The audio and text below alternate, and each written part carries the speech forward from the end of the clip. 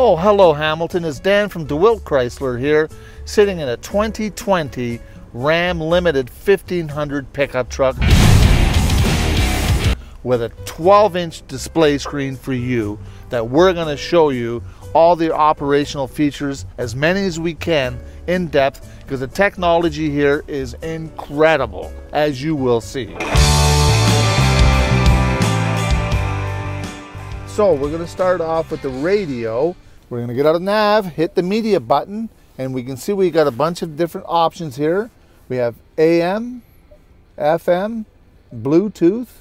We don't want Bluetooth. And we're going to go to select source and we're going to hit Sirius Radio.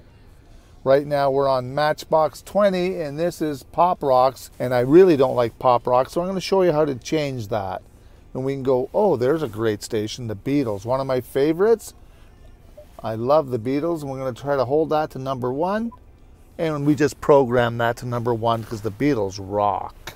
And I can show you audio buttons where we can go for the uh, fade, four corner fade, or we can go into the equalization mode. Everything is touchscreen here to get your ample, perfect sound, whatever you like. With this 19 speaker Harman Kardon, listen. Wow. So now we're going to show you some climate controls. We go to the bottom toolbar and we hit climate. As you can see, it displays our ventilation system. We can choose whichever one we like for direction of ventilation. Here's our sync functionality. That's our sync button. If I change the temperature, you can see both are changing at the same time. So the driver has that control to sync up the temperatures to the left and the right side for passenger and driver. We have fan speeds, of course, and we're going to turn that off. So if we want to hit the uh, more controls, we've brought up all the interior uh, options for heated seats, vented seats, heated steering wheel. Passenger has the same thing and vented seats on their sides. So we have multiple functions. Everybody can have their total comfort when they desire. So the apps here, there's a number of apps as you can see. We have climate control centers, we have travel link. Here's a surround camera for you. What does that mean? Well, we have cameras all around the vehicle. Mirror dimmer, that's for headlight systems. Like if somebody's got high beams in the back, you can control that and reflect the lights back out of your eyes and your vision. Now we're going to show you the navigation system. We got the big display up. We hit the toolbar where to and we want to go and search.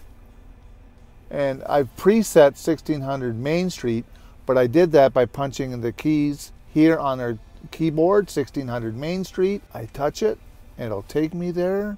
It's searching. Touch it again to make sure we get there. Go route here.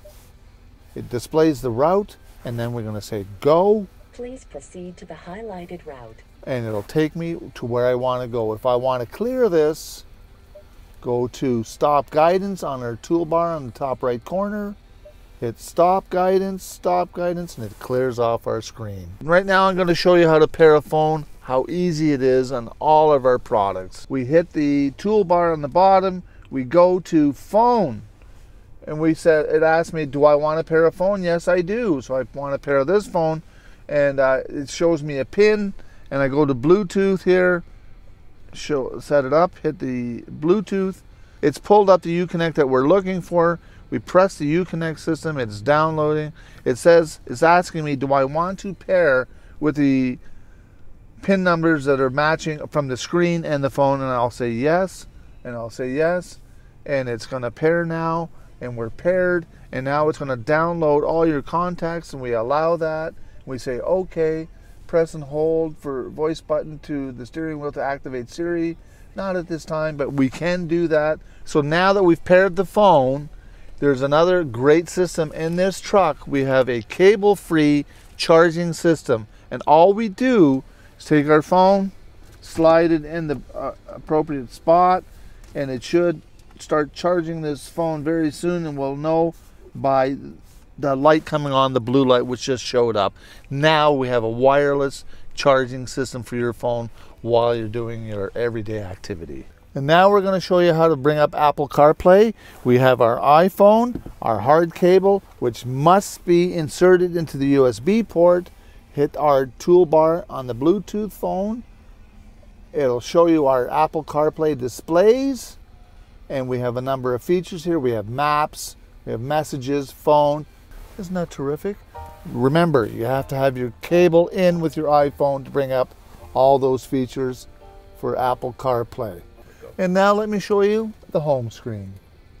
The home button shows you the split screens and how you can choose your different selections.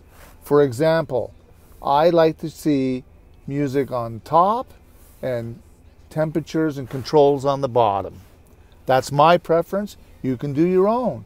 So we can X these out and you should go back to the split screen.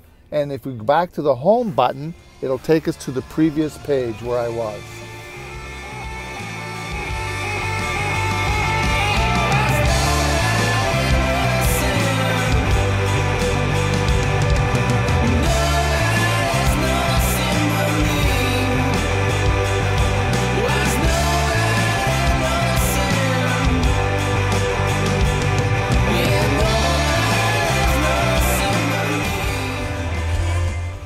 There you have it, some of the features on the 12 inch screen in a RAM Limited.